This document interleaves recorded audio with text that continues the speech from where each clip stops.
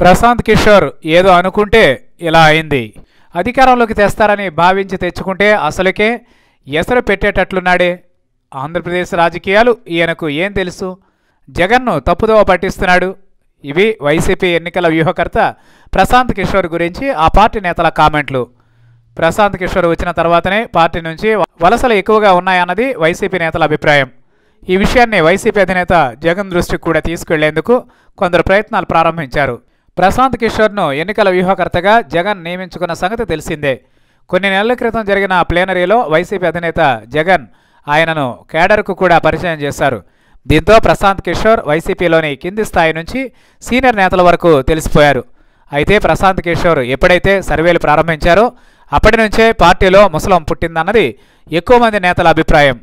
ప్రశాంత్ కిషోర్ సర్వేలకు భయపడి కొందరు నేతలు పార్టీని వీడారంటున్నారు. ఎన్నికల వ్యూహకర్త అంటే ఏం చేయాలి?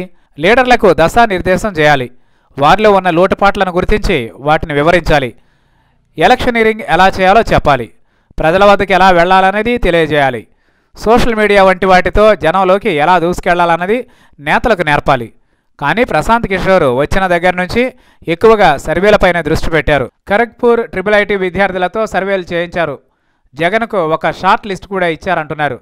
అంతేకాకుండా నియోజకవర్గంలో పీకే టీం సర్వే చేస్తున్నప్పుడు ప్రత్యర్థుల బలాలతో పాటు పార్టీ అభ్యర్థుల బలహీనతలను కూడా సేకరించారు.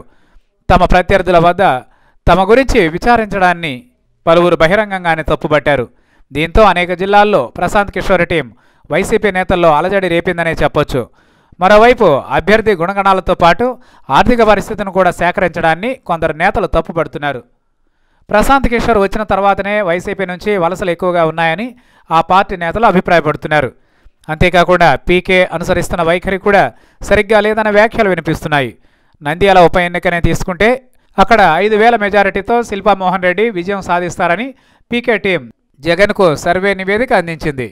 దీనివల్లనే జగన్ పద్దెనిమిది రోజులు అక్కడ ప్రచారం చేసి పరువు పోగొట్టుకోవలసి వచ్చిందంటున్నారు కొందరు సీనియర్ నేతలు. అలాగే కర్నూలు ఎంపీ బుట్టా రేణుక పార్టీ వీడడానికి పీకే టీం ప్రధాన కారణంగా చూపుతున్నారు.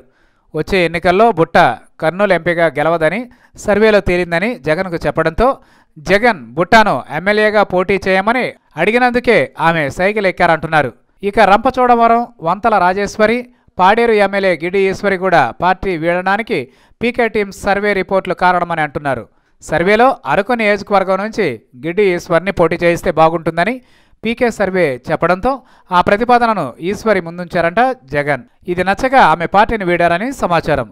ఇక నాలుగేళ్ళుగా నియోజకవర్గాల్లో సొంత డబ్బులు ఖర్చు పెట్టుకుని పార్టీ కార్యక్రమాలు తాము నిర్వహించిన పీకే దయాదక్షిణల మీద ఆధారపడవలసి వస్తుందని నియోజకవర్గ ఇన్ఛార్జీలు కొందరు ఆవేదన చెందుతున్నారు.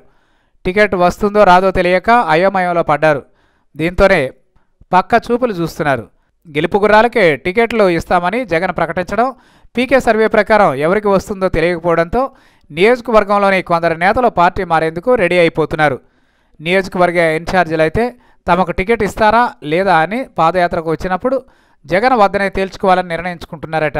లేదని చెబితే తట్టాపుట్టా సర్దుకుని వెళ్ళిపోయేందుకు సిద్ధమవుతున్నారు. మొత్తం మీద ప్రశాంత్ కిషోర్ వైసీపీలో వైరల్గా మారాడు. ఆయన చేస్తున్న సర్వేలతో నేతలకు కంటి మీద కునుకు లేకుండా చేస్తున్నారు. మరి చివరకు ఎందరు నేతలు పార్టీలో ఉంటారో ఎవరు వీడతారో తెలియని పరిస్థితి వైసీపీలో నెలకొంది.